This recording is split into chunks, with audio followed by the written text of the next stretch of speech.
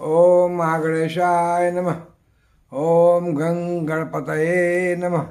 गणपति उवाच एस्ट्रोलॉजी से मैं प्रोफेसर डॉक्टर ए के चौबे आप सभी मित्रों का अपने इस यूट्यूब चैनल पर हार्दिक स्वागत और अभिनंदन करता हूँ। मित्रों, नमस्कार। मित्रों, मैं उपस्थित हूँ, देखिए, आप सबसे विशेष वार्ता करने के लिए। मैं वार्ता का शीर्षक बताऊँ थंबनेल बताऊँ, उससे पहले आपसे निवेदन करूँ कि जो मेरी चैनल को पहली बार देख रहे हैं, वो कृपया सब्सक्राइब करें और देखिए बेल आइकन को प्रेस करें। और अगर आपको अच्छा लगता है, वीडियो तो लाइक तो बनता है ना, लाइक करें और अपने दोस्तों में शेयर करें जिससे उनको भी लाभ मिल सके। और देखिए नोटिफिकेशन में अगर ऑल सेलेक्ट कर लेंगे ना तो मेरे अगले वीडियो की सूचना स्वतः ही आपके अकाउंट में पहुँच जाएगी। और जाते जाते आप कमेंट में जो लिखना चाहें, लिखिए। कोई कमेंट देना चाहते हैं, बुराई करना चाहते हैं, तारीफ़ करना चाहते हैं, कुछ छोटा मोटा सवाल भी अगर आपका पूछना चाहते हैं तो देर सवेर में जवाब देने की कोशिश करूँगा। तो मित्रों, आप कुछ नहीं पूछना चाहते, कुछ नहीं लिखना चाहते तो महागणेश आय नंबर तो लिखिए। ही भगवान गणेश का आशीर्वाद आपको ज़रूर मिलेगा। अब देखिए, मेरा थंबनेल क्या है, मैं आज क्या चर्चा कर रहा हूँ। देखिए, अब ये पहली जनवरी को नई साल शुरू हो रही है और नया सप्ताह शुरू हो रहा है सोमवार। तो पहली जनवरी से सात जनवरी तक पूरा जो सप्ताह है पहला, उसका भविष्यफल कैसा रहेगा? मेष राशि से लेकर मीन राशि तक। ये साल का पहला सप्ताह कैसा जाएगा? तो वही चर्चा करने में आया हूँ, मेष राशि से लेकर मीन राशि तक। अब मैं देखिए, इस समय चर्चा करते करते कहाँ आ गया? कर्क राशि पे आ गया हूँ। तो चौथी राशि कर्क राशि। देखिए कर्क राशि के लिए पहले मैं ग्रह गोचर बताऊँ। देखिए, लग्न में कर्क राशि है, कोई ग्रह नहीं है। धन भाव में पांचवी राशि है, कोई ग्रह नहीं है। छठे, देखिए, तीसरे भाव में छठी राशि है, ना केतु बैठे हुए हैं। चौथे भाव में तुला राशि, कोई ग्रह नहीं है। पाँचवें भाव में वृश्चिक राशि में शुक्र और बुद्ध बैठे हुए हैं। छठवें भाव में धनु राशि में सूर्य मंगल है। सातवें भाव में मकर राशि, कोई ग्रह नहीं है। आठवें भाव में शनि बैठे हुए कुंभ राशि में। नवे भाव में जो है, देखिए, बारहवीं राशि, मीन राशि में राहु बैठे हुए हैं। और दसवें भाव में बृहस्पति बैठे हुए मेष राशि में। और, ग्यारहवें भाव में वृषभ राशि है, कोई ग्रह नहीं है। बारहवें भाव में मिथुन राशि है, कोई ग्रह नहीं है। तो ये तो ग्रह गोचर रहा। और देखिए, पहली जनवरी को चंद्रमा जो है, सिंह राशि में होंगे। और सिंह राशि का मतलब होता है, नंबर पाँच राशि। नंबर पाँच राशि तीसरे भाव में है, कर्क राशि के लिए। चंद्रमा एक जनवरी को तीसरे भाव दूसरे भाव में, धन भाव में होंगे। तो धन भाव में होंगे दूसरे भाव में, और दो, तीन, चार जनवरी को आ जाएँगे तीसरे भाव में केतु के पास। और चार पाँच छः जनवरी को आ जाएँगे चौथे भाव में, तुला राशि में। सप्ताह का अंत होते होते सात जनवरी को चंद्रमा आ जाएँगे पंचम भाव में। पंचम भाव का मतलब वृश्चिक राशि जहाँ पर के देखिए शुक्र और बुद्ध बैठे हुए हैं। तो ये चंद्रमा का गोचर रहा। अब चंद्रमा का गोचर और राशि, और बाकी ग्रहों का गोचर के हिसाब से कर राशि के लिए सप्ताह कैसा बैठता है देखिए। चंद्रमा में जैसे मैंने बताया, एक जनवरी को धन भाव में होंगे। धन भाव में सिंह राशि में। तो धन भाव में चंद्रमा जब बैठेंगे और देखिए धन भाव से अष्टम को देखेंगे, अष्टम में विपरीत राजयोग बना के शनि बैठे हुए कुंभ राशि में, ज़बरदस्त। शनि की दृष्टि चंद्रमा में पड़ रही है। चंद्रमा की शनि की साथ साथ होने से विष दोष तो बनता है, जो कि थोड़ा शरीर को कष्ट देता है, लेकिन धन भाव में धन तो आना ही आना है। धन भाव से चंद्रमा सप्ताह के प्रारंभ में देखिए, आपकी आर्थिक स्थिति अच्छी हो जाएगी। आठवें में शनि बैठे हैं तो अचानक धन तो आएगा ही आएगा। आठवें भाव से कोई भी काम होता है, अचानक ही होता है। तो अचानक, लेकिन थोड़ा स्वास्थ्य पर ध्यान देना होगा भाई। हालाँकि शनि उच्च के हैं और विपरीत राजयोग बना के बैठे हुए हैं, फिर भी थोड़ा शारीरिक कष्ट, थोड़ा सा लोअर लेग्स में पेन कमर में पेन ये सब हो सकता है। आँखों में पीड़ा हो सकती है। तो उसके लिए थोड़ा सतर्क रहें भाई। शारीरिक स्वास्थ्य का स्वास्थ्य का ध्यान रखिएगा।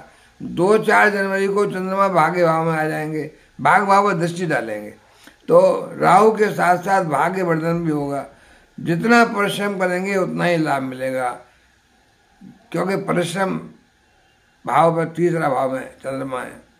और देखिए, पाँच छः जनवरी को चौथे भाव में चंद्रमा आ जाएँगे। चौथा भाव सुख का भाव है। और बृहस्पति की दृष्टि यहाँ पड़ेगी तो सुख भाव में बृहस्पति या चंद्रमा पर दृष्टि पड़ने से गज केसरी राजयोग बनेगा। उसकी वजह से सुख साधनों की वृद्धि होगी।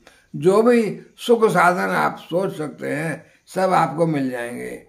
भूमि, भवन वाहन गाड़ी, बंगला, जो आप लेना चाहते हैं, इस समय ले सकते हैं। कार्य क्षेत्र में देखिए, बृहस्पति खुद बैठे हुए हैं।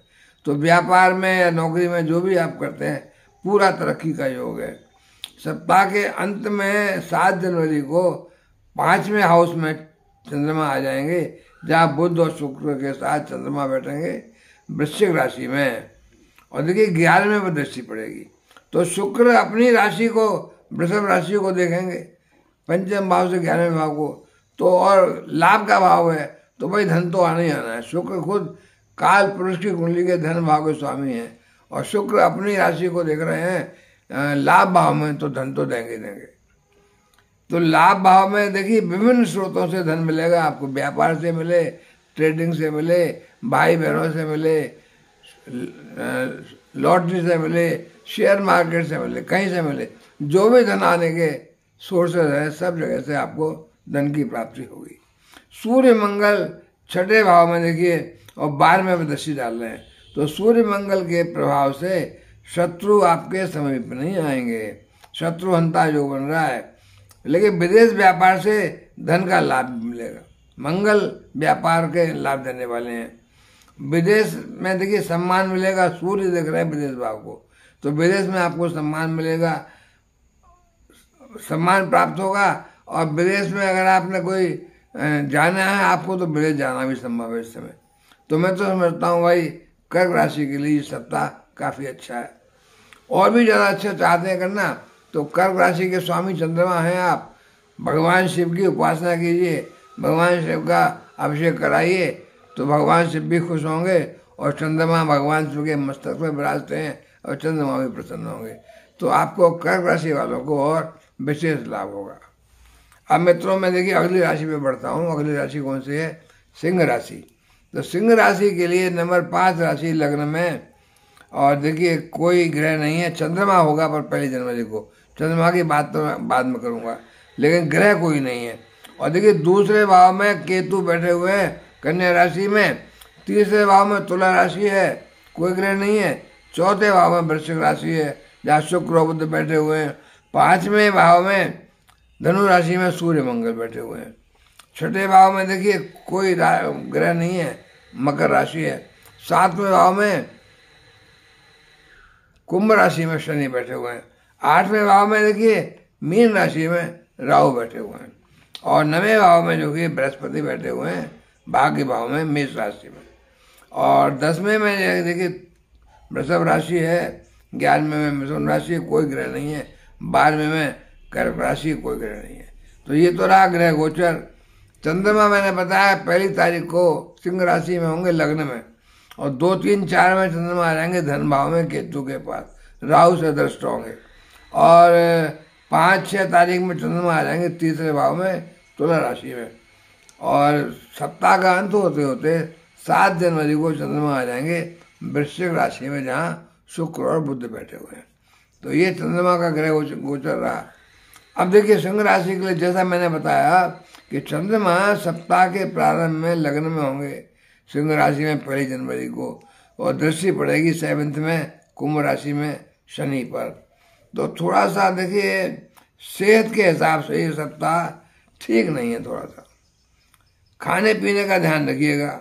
बाहर के खाना, मसालेदार खाने पर रोक लगाइएगा। जो भी खाएँ, सोच समझ कर खाएँ।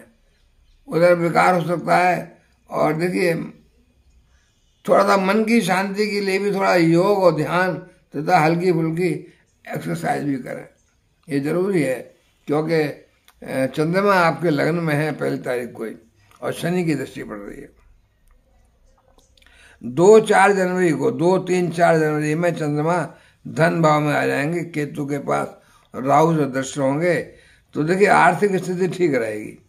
धन का आगमन तो होगा ही होगा। पाँच छः जनवरी को चंद्रमा तीसरे भाव में आ जाएँगे और नाइन्थ से देखिए भाग्य भाव में बृहस्पति बैठे हुए हैं। तो बृहस्पति देखेंगे चंद्रमा को। तो बृहस्पति की दृष्टि चंद्रमा पर पड़ेगी और बृहस्पति पर चंद्रमा की दृष्टि पड़ेगी।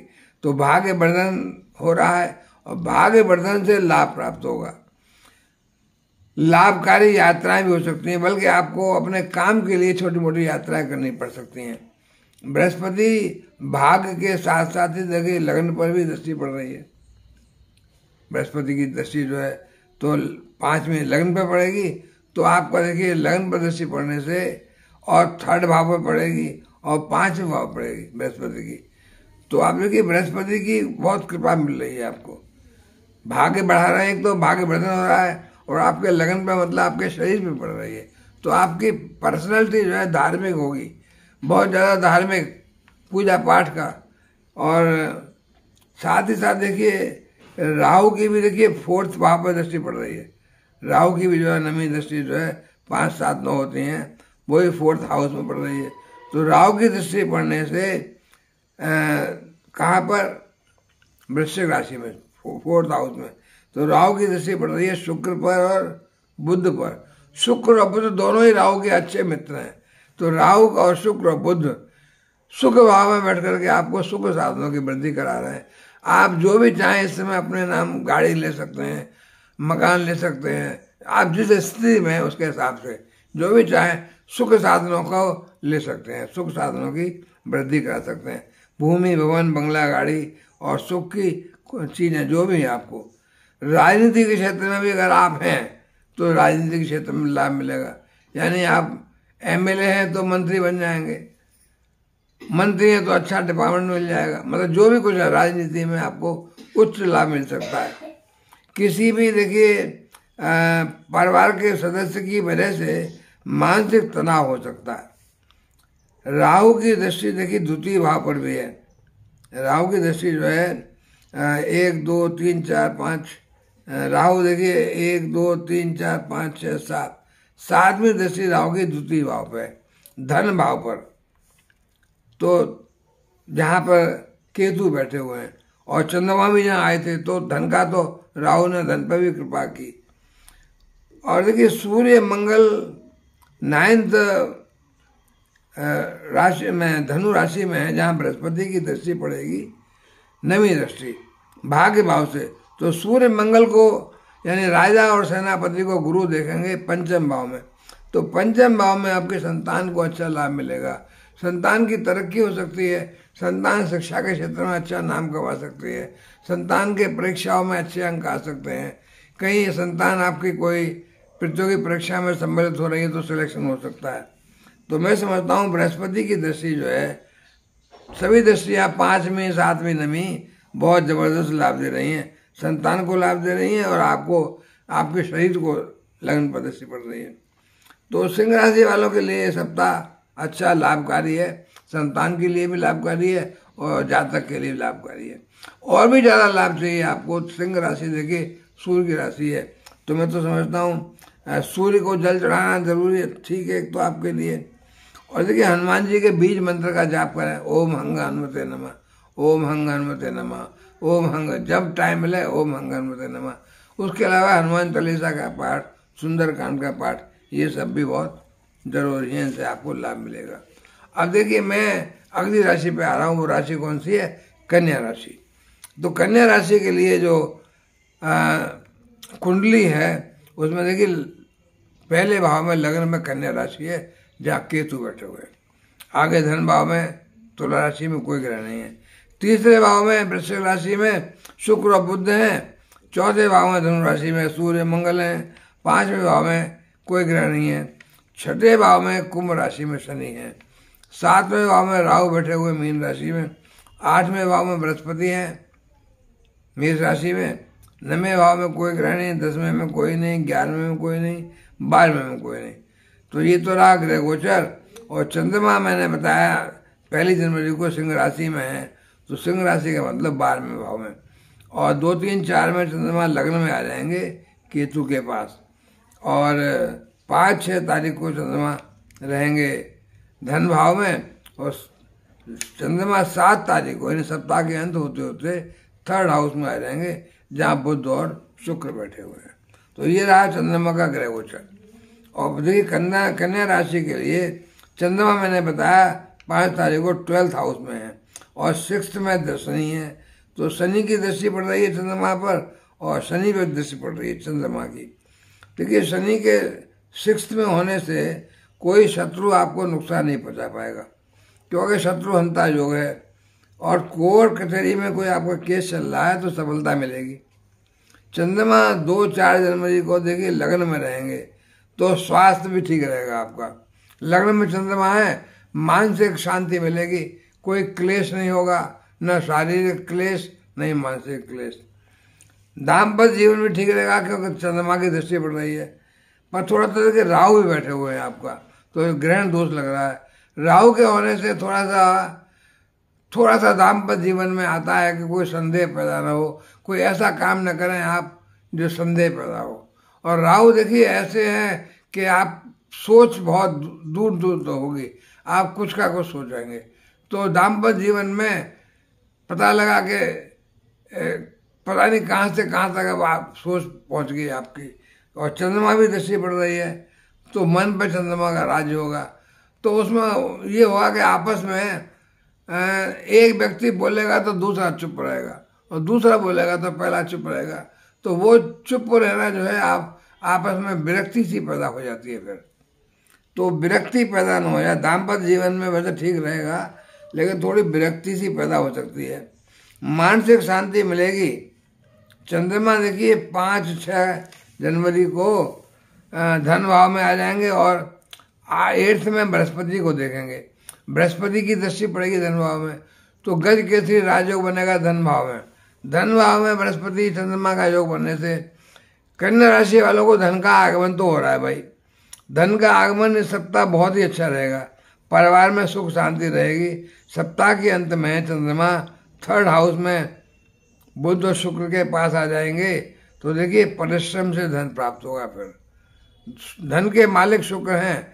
जितना परिश्रम करोगे, जितनी भागदौड़ करोगे, उतना ही धन मिलेगा। भाग्य वर्धन तो ही होगा क्यों भाग्य भाव पर दृष्टि बढ़ रही है। लाभकारी यात्राएँ भी होंगी, धन की प्राप्ति होगी। और देखिए भूमि, पुत्र, मंगल, सूर्य के साथ बैठ करके सुख की वर्षा तो करेंगे करेंगे। सरकारी कामों से लाभ मिलेगा। नौकरी के क्षेत्र में तरक्की मिल सकती है। पद, प्रतिष्ठा, मान सम्मान, उन्नति, वेतन वृद्धि सब कुछ हो सकता है। जॉब में बहुत वेतन वृद्धि हो सकती है। और यदि कोई नया जॉब भी आप प्रारंभ कर सकते हैं, अगर चाहते हैं तो। बृहस्पति की धन भाव पर दृष्टि और सुख भाव पर दृष्टि जो पड़ रही है ना, वो अत्यंत लाभकारी है।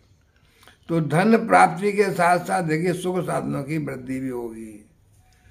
और ज़्यादा लाभ चाहते हैं आप कन्या राशि वालों तो आप भी भगवान शिव की उपासना करें। भगवान शिव को बेलपत्र वगैरह फल चढ़ाएँ, भगवान शिव को दुग्ध से स्नान कराएँ काले तिल चढ़ाएँ, शहद चढ़ाएँ, भगवान शिव का आशीर्वाद मिलेगा तो और लाभ मिलेगा।